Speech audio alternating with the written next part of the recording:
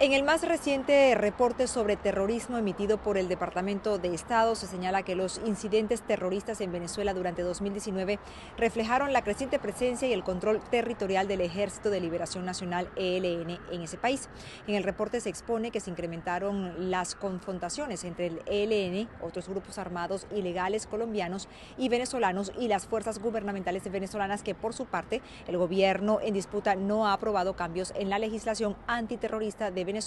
en 2019. Se puede leer también en el informe que la seguridad fronteriza en los puertos de entrada era vulnerable y susceptible a la corrupción, además de que el gobierno interino de Juan Guaidó trabajó con socios regionales para invocar el Tratado Interamericano de Asistencia Recíproca, que también es conocido como Tratado de Río o TIAR, para abordar las actividades ilegales que incluyen terrorismo y su financiamiento. Por otro lado, el secretario de Estado Mike Pompeo dijo que la administración del presidente Donald Trump estaba imponiendo sanciones a cinco capitanes de barcos iraníes que habían entregado petróleo a Venezuela. El informe agrega que como parte de la campaña de máxima presión contra el gobierno iraní, Estados Unidos y sus socios impusieron nuevas sanciones a Teherán y sus representantes. Al conocerse esta información, el gobierno en disputa de Venezuela, de Nicolás Maduro, reaccionó en un mensaje publicado por su canciller Jorge Arriaza en su cuenta de Twitter, en el que señala textualmente que en un de arrogancia,